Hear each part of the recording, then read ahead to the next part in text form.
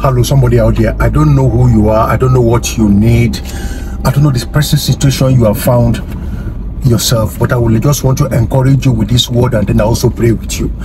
Uh, I want to us to agree on prayer on impossible situation. Look, it is not over until God says it's over. I don't know what circumstances you're in right now. I don't know what the doctors have said to you. I don't know what medical report they gave to you. I don't even know if they told you like somebody eh, recently they told oh they're not giving people visas at the embassy, but but by God's grace we agreed together and that that visa was given in face of all the odds that even was standing against that person. So I don't know how you felt this morning. I don't know what the devil woke you up with this morning. I don't know how you felt this morning when you heard maybe your landlord came around and they told you that repossessing i mean they are taking repossessing your car or your landlord is telling you that well you just have to pack out before the weekend if you do not come up with the rent and all the rest i don't know why what made you sleepless last night i don't know what you cried about before you slept. But I'm here to agree with you that under God, all things are possible. And that is the prayer I want to pray with you, even in the name of Jesus.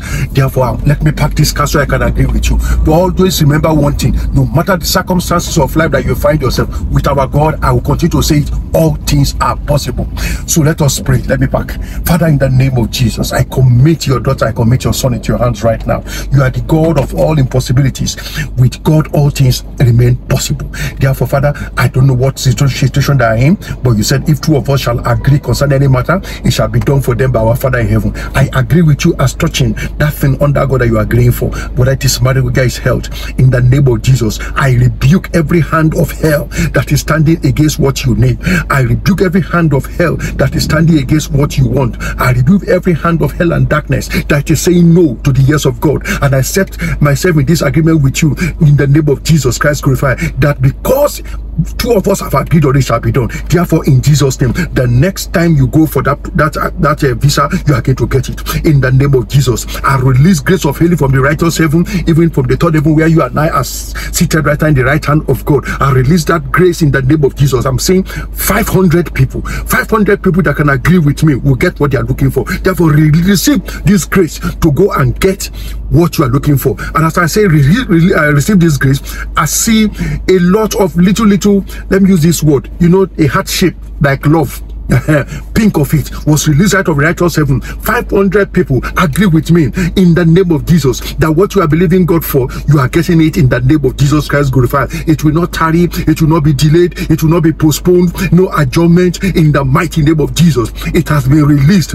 Now 500 people claim your promise in the name of jesus. Whether it is health whether it is wealth whether it's deliverance whether it's promotion whatever it is that delay is over. In the mighty name of jesus. There's somebody watching this this prayer right now your name was crossed out out of the list. But i say to you by the hand of the holy spirit before tomorrow in the name of jesus christ glorified your name is back on the list. I don't know what that list is all about but because you are watching this cast you are agreeing in prayer in the name of jesus. Don't worry in the name of jesus because our god cannot fail. Now hear me somebody you are not the one who is going to answer the prayer. In the name of jesus christ glorified. You are not the one who will answer the prayer.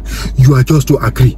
There's a release already take your own catch it hold on to it believe. You have you see this video? You have stumbled upon it because god wants you to partake and you are among those 500 people. So let it be in the name of jesus christ glorified. Type your amen and let me hear about your testimony because grace has been released. Is for you to take your portion in the name of jesus. Lord i just thank you because with men it appears impossible. With god nothing is impossible. I just thank you because i know that people will start sending in in the name of jesus christ glorified their own testimony out of this short uh, prayers. So let it be. I just worship you right now and I say, Jehovah God with Christ, the God who have seen me and brought me out of impossible situations, you will also do much more for everyone who can just agree in the name of Jesus. So let it be.